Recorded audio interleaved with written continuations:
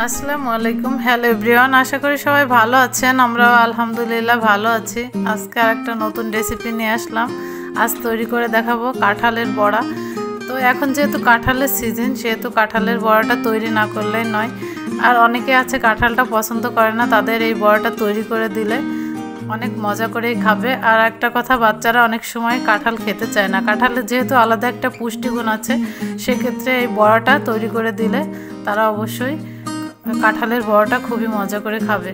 তো আজকে সেই বড়াটাই তৈরি করে আপনাদের সাথে শেয়ার করছি আর ভিডিওটি স্কিপ না করে পুরোটি দেখবেন প্লিজ আর যে এখানে অনেকটাই কাঁঠাল নিয়ে নিয়েছে আর কাঁঠালগুলো দেখে বুঝতে পারছেন পাকা, অনেক রসালো কাঁঠাল।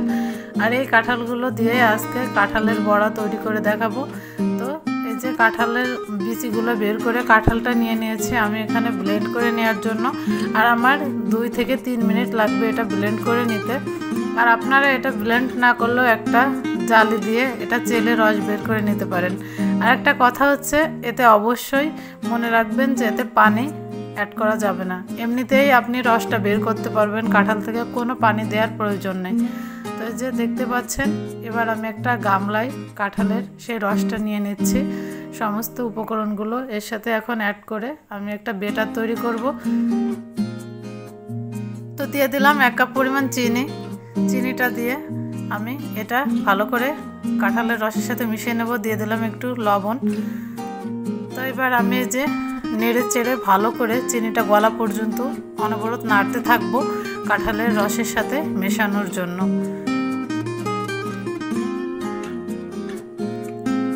এবার আমি এক কাপ পরিমাণ চাউলের গুঁড়া অ্যাড করে দিচ্ছি। আপনারা চাইলে চাউলের গুঁড়া না থাকলে ময়দা দিয়েও করতে পারেন।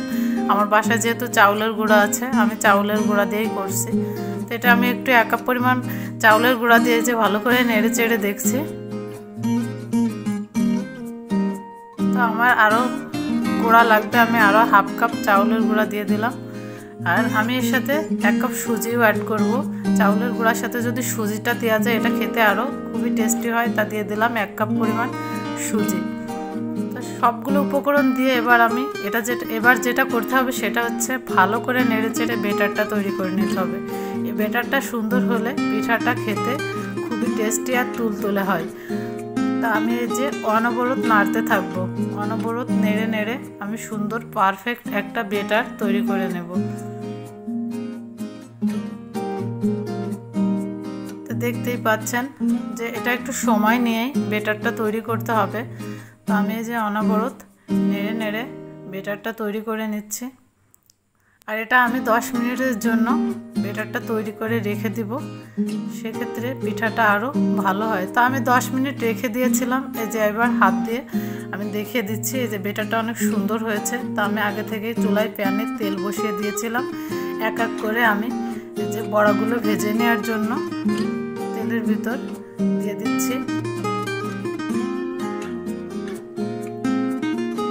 এক এক করে যে আমি সমস্ত বড়াগুলো দিয়ে দিয়েছি।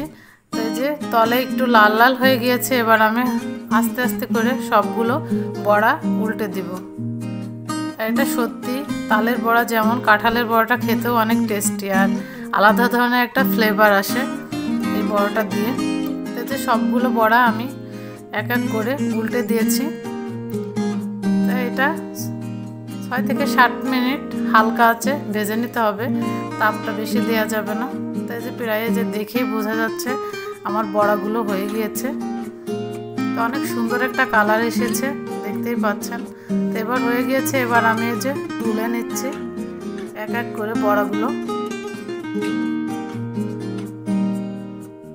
তেলটা ঝরিয়ে আমি একটা টিস্যু পেপারের উপর বড়াগুলো তুলে নিচ্ছি। তো পরবর্তীতে আবারও আমি বাকি যে বেটারটা আছে সেটা দিয়েও আমি পিঠাগুলো, এই যে বাকি পিঠাগুলো করে নিচ্ছি, সেটা আপনাদের সাথে শেয়ার করছি।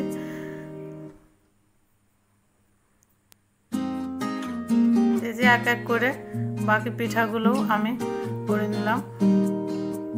এগুলো আমি একটু উল্টে পাল্টে এই যে পিঠাগুলো করে নিব।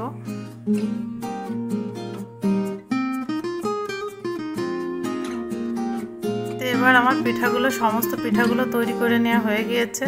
এবার আমি যে একটা প্লেটে একটা টিস্যু দিয়ে তার উপরে পিঠাগুলো সাজিয়ে নিয়ে আপনাদের দেখিয়ে দিচ্ছি। সত্যি এটা দেখে বুঝতে পারছেন কতটা সুন্দর একটা কালার এসেছে।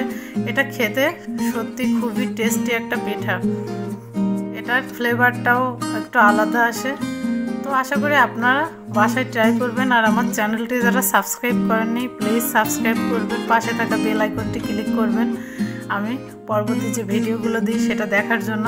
আর আমি বাসায় যেগুলো তৈরি করি, সেগুলোই চেষ্টা করি একটু আপনাদের সাথে শেয়ার করার জন্য। অবশ্যই আপনারা পাশে থাকবেন আর আমার ভিডিওগুলো দেখবেন। তো এই যে আপনাদের দেখে দিচ্ছি, একটু কাছে নিয়ে আসে দেখতেই পাচ্ছেন যে এটা এই যে ফুলে কতটা সুন্দর হয়েছে আর এই যে কালারটাও অনেক সুন্দর আসছে। তো আপনারা যারা তৈরি করছেন, তারা জানেন এটা কত টেস্টি একটা পিঠা। যারা তৈরি করেনি অবশ্যই তৈরি করবেন। তো সবাই ভালো থাকবেন, সুস্থ থাকবেন। আল্লাহ হাফেজ।